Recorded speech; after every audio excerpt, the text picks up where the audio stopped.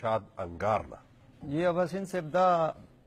دا خزی چې د بیمار ته پوس لاړ شي پاغه باندې یو نظم دی وی چې لک شان ټپ شي زنانه غ بیمار وجنی چې لک شان ټپ شي زنانه غ بیمار وجنی لکه میګي ور پسې ګرځي زخمی مار وجنی زړه پرې باسي بینټه بدغه خوار وجنی تپوس له راشي ورته وایي زه دې وپېژندم سر پرې راښکته کړي پلانکی یم ودې نه پېژندم په سول کې نه دی ناخبره د دنیا نه پروت دی په زړې تیاره د راته ښکاري سرګردانه پروت دی څومره غټ کټ او څنګ خراب شو څه بېځانه پروت دی خورې ناشنا شان مرضونه دي بلشان دي اوسه او غریبې ګیر که بچ کېدی تېنه ډېر ګران دي اوسه نو څنګه چې دی دی دا مرض زما د نیا داسې و بل مې د مور د ترور د زوم هغه ماما داسې و میاشت یې کټ وخوړو اخره کې خو بیا داسې و نه یې نوڼی تېرېده نه یې ګوټو به تېرېدی او چې ده ته ګورم دقه شان سختې په هغه تېرېدی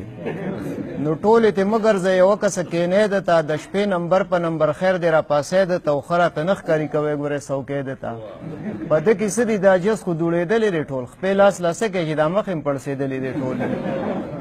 نو هسې مه ګرځوئ نور په ډاکټرانو باندې ډاکټر به څه وکړي په داسې مریضانو باندې زړه ګړوب شوی دی په ډېرو دویانو باندې مې خوځوی هسپتالونو ته د وړو نه دی او ګاټي ورپرېوته ښکاره د بچ کېدو نه دی نو بیا چې رسخت اخلي په شور او په غوغا باندې مونږ بخلې مونږ بخشي په جړا باندې خدای دې دا سخته کې اسانه نوره تا باندې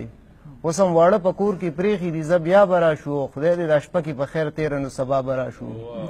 چې کور ته راشي وګرځي به مازیګر کلي کې په یوه خپه به ټولې ښځې کې خبر کلي کې نور به تیار کې یو پنځه سوه لښکر کلي کې ټولو ته وایي چا ته مه وایې پلانې ښه نه دی او د هسپتال یې واپس کړی دی خانې ښه نه دی